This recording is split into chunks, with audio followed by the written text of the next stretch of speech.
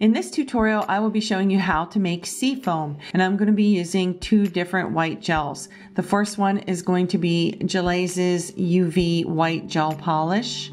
It's just a white gel polish that's in uh, the little pot here, and you can buy these on eBay, and it can be used for art, um, you know, painting your nails, whatever. It's just a little bit thicker of consistency, some cuticle oil. Using the waxy backs that the nail forms come on, you can just use wax paper. That'll do the same thing. Our cuticle oil, and we're just going to brush some of it on the form.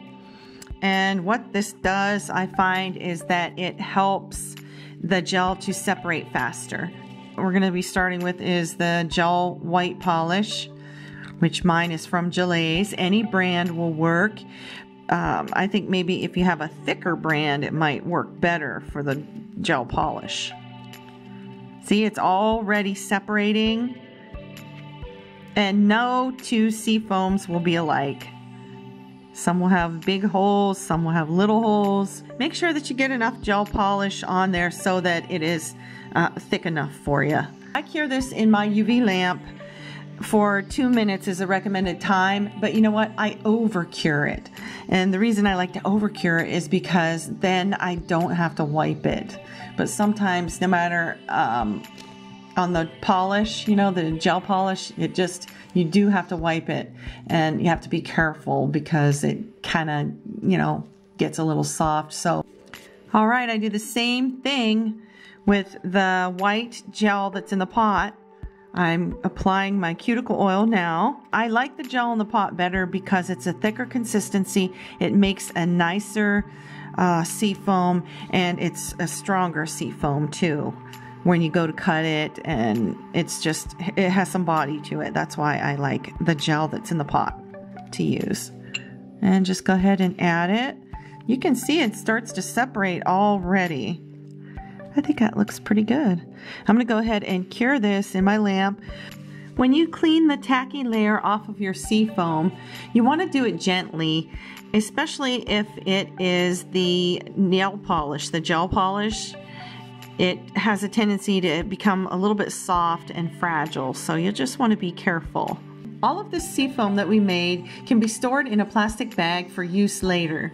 Now, I do want to point out that the seafoam that I made out of the gel polish is much more fragile than what I made out of the pot of gel here.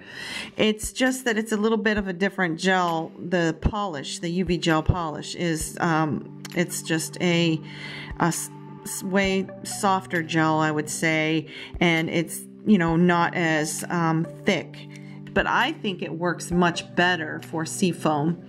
Um, like I said, this is the one made from Gelaise. Now, there maybe it's just Gelaise that is kind of fragile. You know, maybe another brand won't be so fragile.